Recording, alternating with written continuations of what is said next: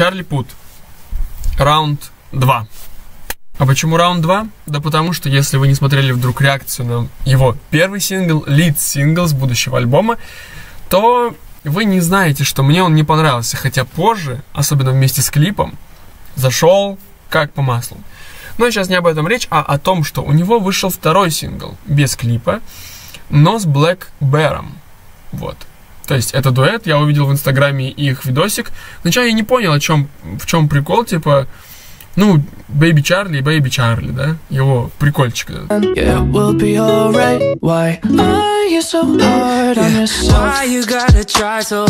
Потом я увидел, потом я услышал какую-то песню, которую Чарли Пут исполняет, такой, типа, это новый сингл, а потом он переключает экранчик на Блэкбера, и я понимаю, что это дуэт с Блэкбером, и я такой, типа...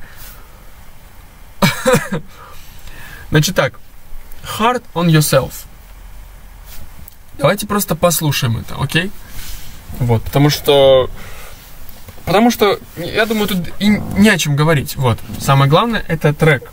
Мне интересно, какой он все-таки на вкус, потому что сниппет я сразу выключил его из Инстаграма, чтобы не перепортить себе впечатление. I can see you struggling, promise you'll find love again. You gotta try so hard, counting calories. Вот это вот я и слышал, да. Но первым мне очень нравится гитара, такая переборная в начале красивая. И в целом трек пока что нравится больше, чем Girlfriend. Ну и биты, естественно. Мне интересно, они будут по очереди петь все время. Обычно Black Bear отдают какие-то партии, ну, типа, как, как, как рэперу, да? Вот. Но здесь он вроде бы на равных правах.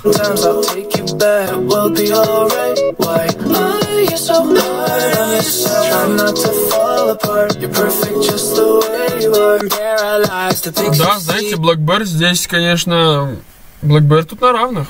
Неплохо. Знаете, такой вот человый трек. То есть я сижу, я понимаю, что я особых эмоций не, не испытываю, но я испытываю одну общую, вот, более атмосферную эмоцию. Когда ты просто хочешь почилить, расслабиться. Вот ты включаешь это, и ты чилишь.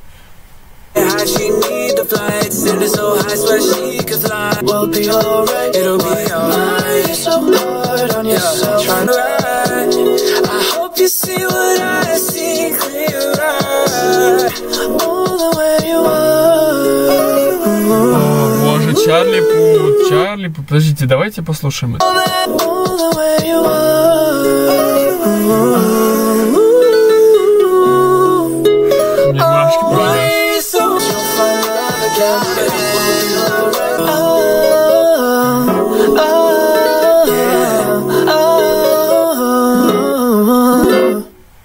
Красиво. Боже, Чарли Пут. А.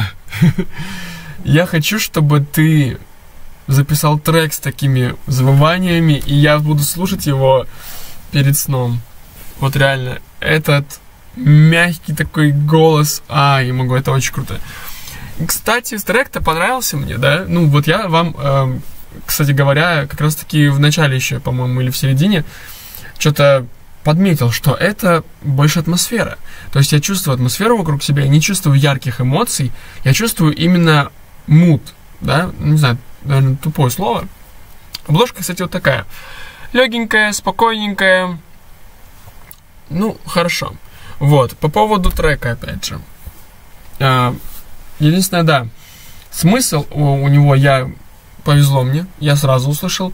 Вроде бы там как раз таки говорится, типа, зачем ты так строг к себе, если ты прекрасен, я надеюсь, то, что ты посмотришь в зеркало и увидишь то, что вижу я, так далее, ты найдешь любовь еще раз, все дела, не переживай, то есть, ну, такой, как бы, как это называется, self-up или что это?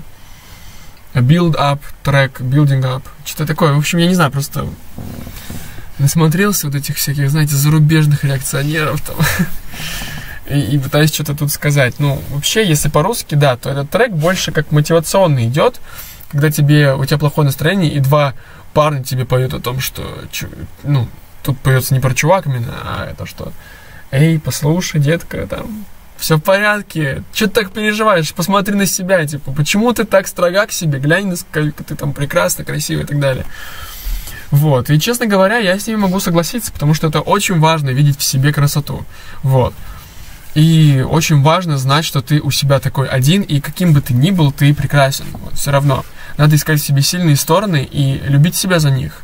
А слабые и какие-то невозможно красивые стороны, либо постепенно что-то с ними делать, либо смириться. То есть, ну, как бы, ты от себя-то не убежишь никуда.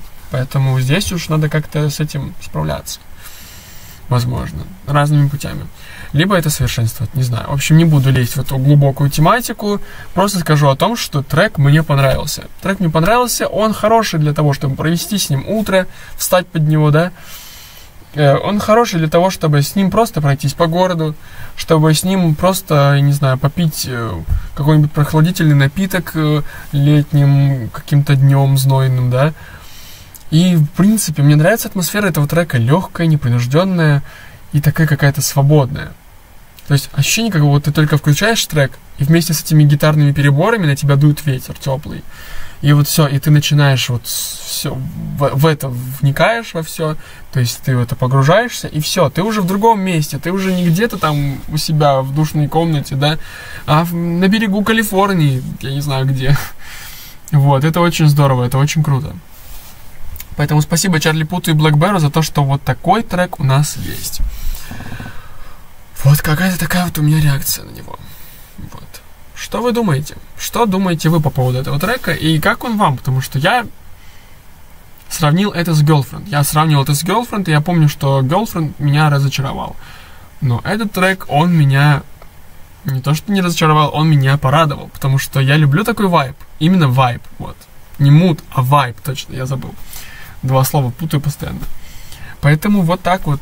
Ну, что там у вас? Вы там смогли, не знаю, повайбовать с него?